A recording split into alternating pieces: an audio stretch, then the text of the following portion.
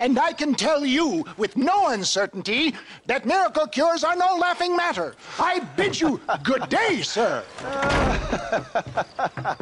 oh, Mr. Marston, good to see you. How have you been keeping?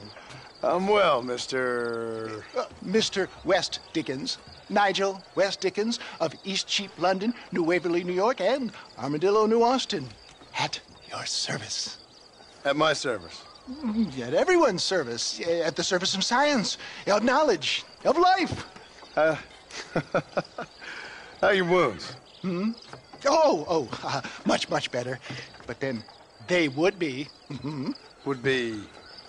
I know a cure for all ailments, Mr. Marston. Ah, I'm sure you do. And I'm sure for just $2 an ounce, I could live forever. Oh, but for you, sir, I do a bulk discount rate of 195 an ounce, as long as you buy 100 ounces or more. That's a lot of immortality. Uh, give it up, old man. That's Mr. West Dickens to you, boy. Give it up, old man. Uh, listen, Marston, I'm broke. But this stuff is good. It works. I need a healthy young man like you. Come along, and let's ride over to my newest customer at Ridgewood, and I'll explain while we go.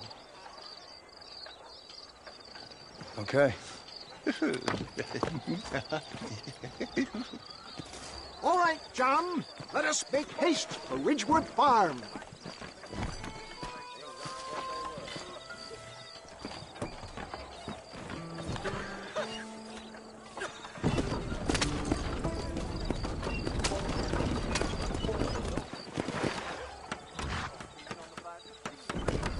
About you, Mr. West Dickens. And I about you, John Marston. Hoodwinking the weak, gullible out of their hard-earned money. My dear boy, it is you who is gullible, if I may be so bold, for heeding such ill-informed scuttlebutt. You're as full of wind as a horse with the collar.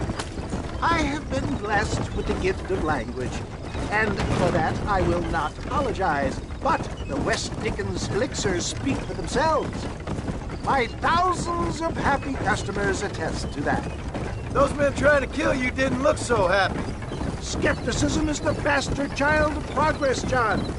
Knowledge makes a fool into a doubting Thomas.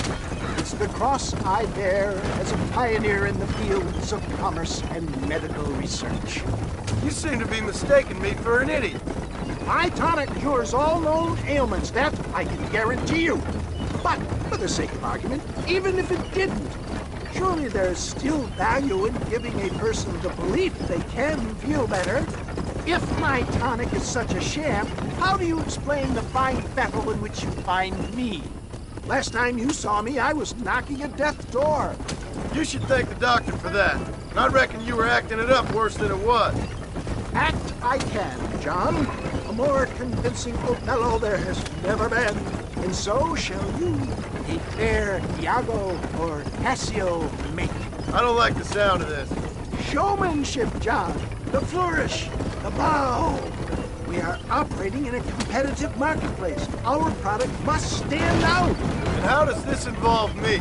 We're going to use your God-given talents to our advantage.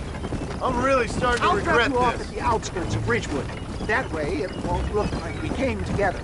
Once I'm set up, saunter nonchalantly into the crowd that is sure to be forming. Eventually, I will call you up to try my tonic. After extolling the virtues, I will have you perform a few feats of wonder to amaze and impress the paying public. Such as? Oh, nothing out of the ordinary for a man in your line of work, I assure you. So it is all a sham. No, no, just a little innocent ballyhoo to grease the wheels of enterprise, that's all. Do you think that buxom young girl you see on the Voyage camera posters knows the first thing about photography? Advertising, my boy, is the future. You'd best be a man of your word.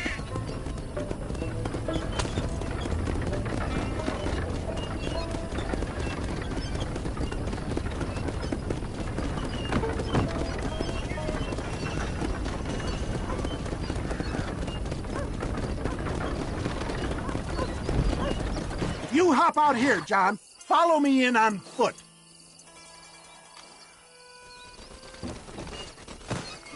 See you shortly, and remember, showmanship.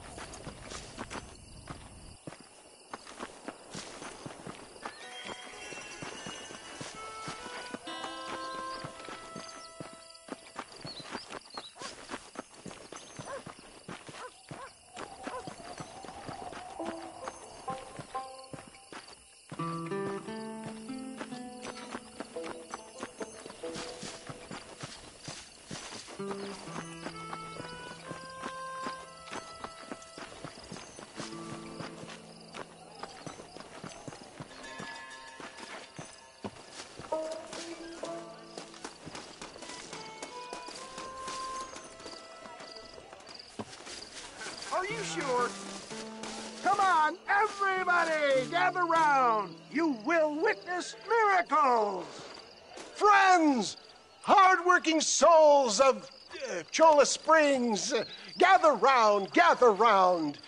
Do you suffer from rheumatism, lumbago, acute chronic sciatic, uh, uh, neurologic, or inflammatory pain?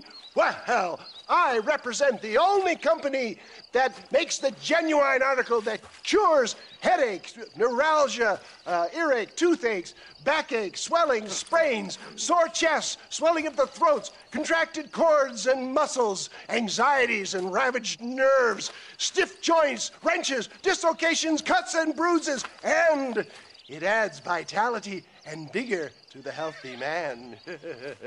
But can you prove it, old man? Oh, I'm sure there's some customer here who could prove the qualities of it by taking a drink right now. You, sir, come up here. Step right up. That's the spirit. Ladies and gentlemen, pay close attention. This poor, wretched volunteer, entirely unknown to me, will demonstrate the effects of Dr. West Dickens' own patent tonic. Be you a cowpoke or athlete, this miraculous elixir developed with the wisdom of the East keeps the muscles supple and relaxes the cords. It loosens the joints and gives a feeling of youth and vigor to the whole system. Not possible, I hear you say. Well, doubt no longer. Faith can move mountains, but I ask not for faith. I am a man of science, and today science will be vindicated. Your eyesight has greatly improved. Is that not so, friend?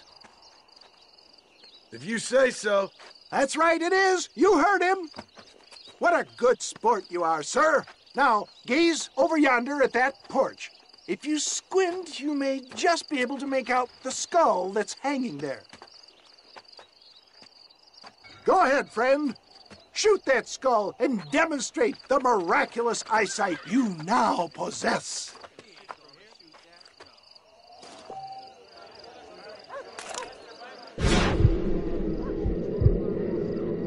Remarkable! The eyesight of an eagle, granted by imbibing Dr. West Dickens' own patent tonic. Anybody can make that shot. This man is a fraud. If your eye's so damn sharp, why don't you try shooting my hat out of the air? My friends, our test case has been challenged to shoot a gentleman's hat out of the sky above our heads. You can fool these people, but you ain't fooling me. Right. Let's just see how sharp you is with a moving target. Right, friend. Here comes the throw.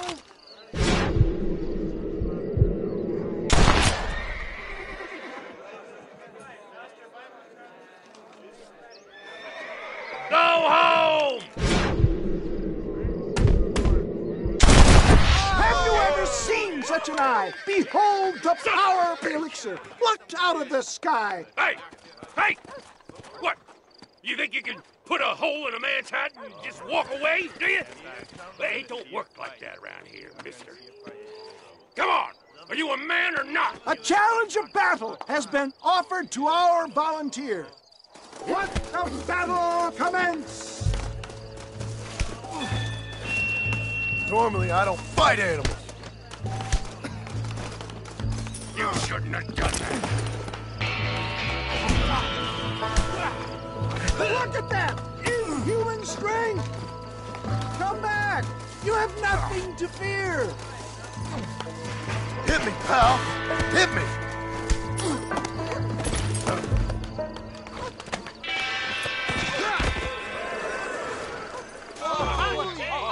There it is! Skeptics and dissenters, irrefutable proof! Do not let this opportunity pass you by! Let him get away with that? Look, he's over there. Go get him. This ends now. Watch out! He's got a gun! Who the hell do you think you are? You ain't leaving here alive.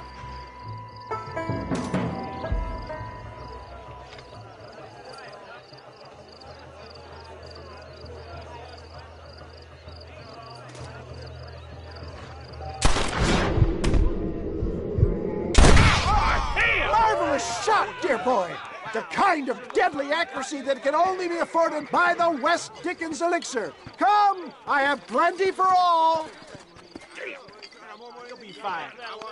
Get out of my way. Hey, where are you going? Oh, I, I want a bottle. Get me a bottle, please. One of them, right here. Yeah, no harm in trying one bottle, I suppose. Well, I think that went kind of well, don't you? I'm just glad that my normal job involves either chasing after cattle or murderers. Not the likes of you, mister. Don't be like that. Now, if you'll excuse me, I'd like to say my goodbyes, head on back to the real world. Uh, uh, uh, wait, sir. I, I've been thinking about your predicament, and I, I think I may have an idea. I've been thinking I could be your cunning Odysseus.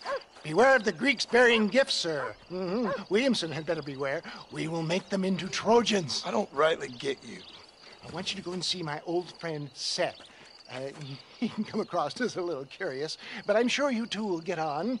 Uh, He's uh, most often found at Coots Chapel. He's very devout. Why see him? Because between him and me, we can get those gates to open for you, and you can walk right in, just like in Homer's great Trojan yarn. Uh,